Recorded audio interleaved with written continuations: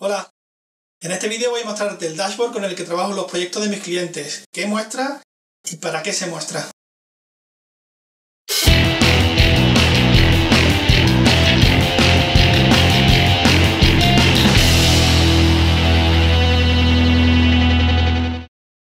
El dashboard es una herramienta que me permite a mí tener toda la información eh, del proyecto organizada y accesible en cualquier momento para mis clientes. Es un panel de control digital donde se muestran de manera gráfica y resumida los datos necesarios para que un cliente, aunque no sepa de SEO o de marketing online, entienda lo que estamos haciendo. Y en mi caso, como responsable del proyecto, poder tomar las decisiones necesarias para corregir o mejorar, en la medida de lo posible, sin mi presupuesto, los resultados relacionados con los objetivos propuestos.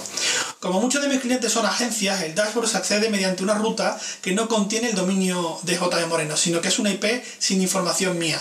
Así, pueden facilitar a los clientes el acceso al servicio liberando así a los responsables de cuenta la tediosa tarea de trabajar las instrucciones técnicas en documentos tan poco útil como por ejemplo suele ser un, PowerPoint para, para un técnico. De esta manera se libera al equipo de la tediosa tarea. Como especialista de marketing online, mi maletín de recursos lo forman una importante batería de herramientas profesionales como por ejemplo Screaming Frog para el rastreo de proyectos, SEMrush para la monitorización y análisis competitivo, Href para la auditoría del perfil de enlace, SafeCon para el análisis de contenido, Seolizer para el análisis de log de servidor o Link Affinity incluso para la gestión de, y ampliación del perfil de enlaces, entre otros. Claro, esto supone un costo importante, aunque lo más importante es que mis clientes se beneficien de toda esa información que generan estas herramientas y sobre todo se la encuentren unificada en un solo sitio, procesada y convertida para acciones concretas de implementación.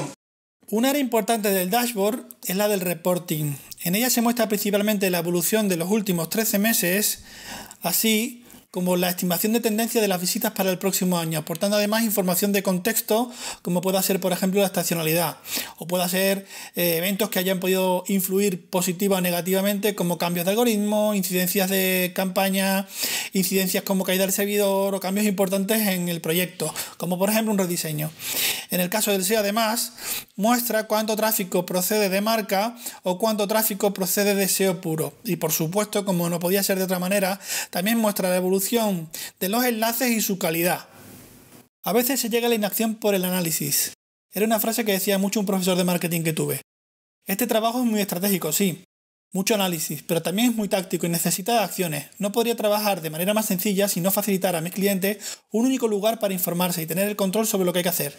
¿Quién lo tiene que hacer? ¿Cuándo de hacerlo? O si hacerlo repercutirá en costes adicionales. Este es el área de instrucciones. El área de instrucciones Muestra el índice de tareas con información útil sobre la implementación, si es más o menos importante, si se estima más o menos dificultad, si necesita recursos técnicos o como, por ejemplo, programadores, o de contenido, como por ejemplo redactores. Esto permite planificar y preparar mejor el conjunto de acciones. Muestra también una gráfica que pone en relación las instrucciones implementadas con respecto de la evolución de la visibilidad. Luego en sí el documento no deja de ser, el área no, deja de ser un área técnica y hay información puramente eso, técnica, hay poca literatura, aunque como los clientes no tienen por qué saber, siempre muestro algo de información para que los curiosos lo, lo puedan ver.